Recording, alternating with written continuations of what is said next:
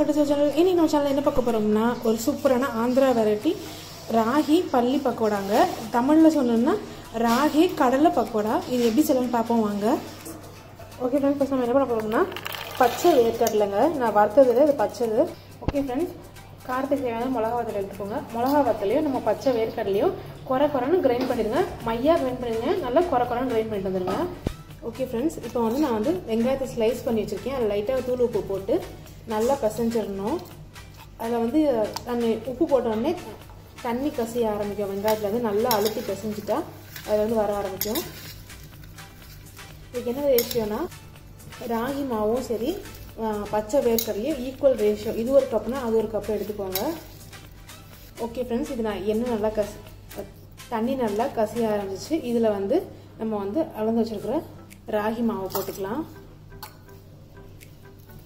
நல்லா அழுத்தி பிசையும் போது நல்லா அதில் வந்து தண்ணி வரும் வெளியே. நம்ம இங்கே பாருங்கள் நான் குறை குறைன்னு அரைச்சிட்டு வந்துட்டேன். அதில் வந்து இதில் சேர்த்துக்குவோம். இதில் நான் வந்து சீரகம் சேர்த்துக்கிறேன்.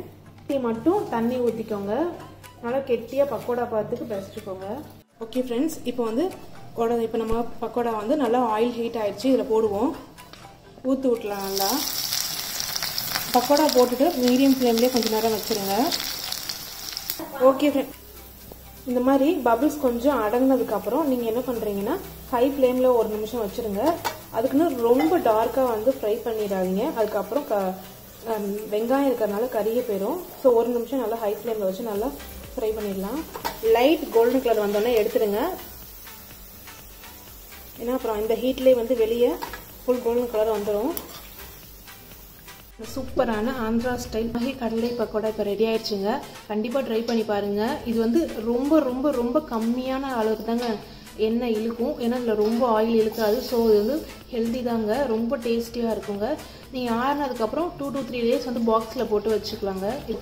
டூ டூ த்ரீ டேஸ் வச்சுக்கலாம். ஓகே ஃப்ரெண்ட்ஸ் நீங்களும் இதே மாதிரி ட்ரை பண்ணி பார்த்துட்டு எனக்கு எப்படி இருக்குன்னு கமெண்ட் பாக்ஸில் கமெண்ட் பண்ணுங்கள் உங்களுக்கு வேறு ஏதாவது ரெசிபி சொன்னால் கமெண்ட் பாக்ஸில் கமெண்ட் பண்ணுங்கள் கண்டிப்பாக உங்கள் ஃப்ரெண்ட்ஸ் செஞ்சு காட்டுறேன். உங்கள் ஃப்ரெண்ட்ஸுக்கு ஃபேன்லாம் ஷேர் பண்ணுங்கள் கட்டு சூ சப்ஸ்கிரைப் பண்ண மறக்காதீங்க. பக்கத்தில் இருக்கிற பெல் பட்டனை கிளிக் பண்ணுங்கள் அப்போ நான் போடுற வீடியோ உங்களுக்கு அடுத்த நோட்டிஃபிகேஷன் வரும். இதே மாதிரி இன்னும் சூப்பராக டிஃப்ரெண்ட்டாக இருக்கிற நான் உங்களை மீட் பண்ணுறேன் அதுக்கு signing off Lakshu bye friends